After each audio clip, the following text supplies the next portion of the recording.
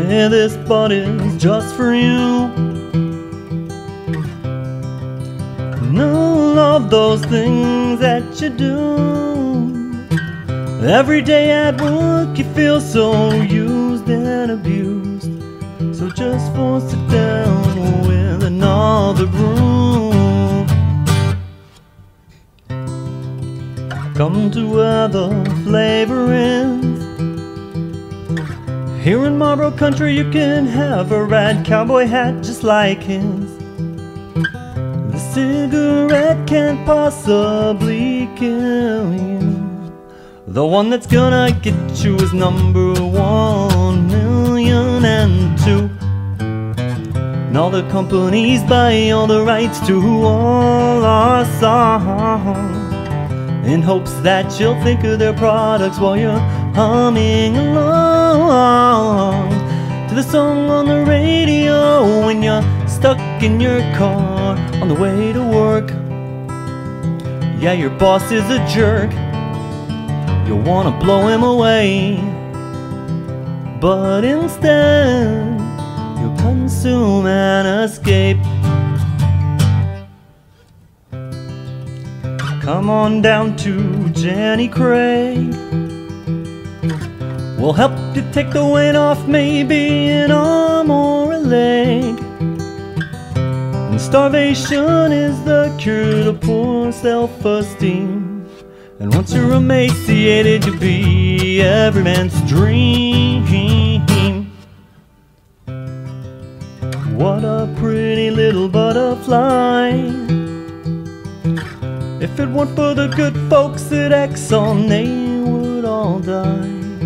Would the company that destroyed Alaska set aside an acre or two to make commercials full of bullshit for me and you? People do.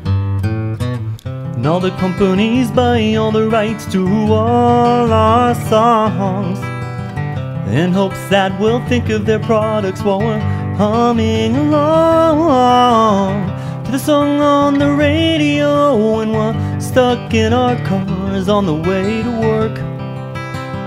Yeah, your boss is a jerk. You'd like to blow him away, but instead you'll consume and escape.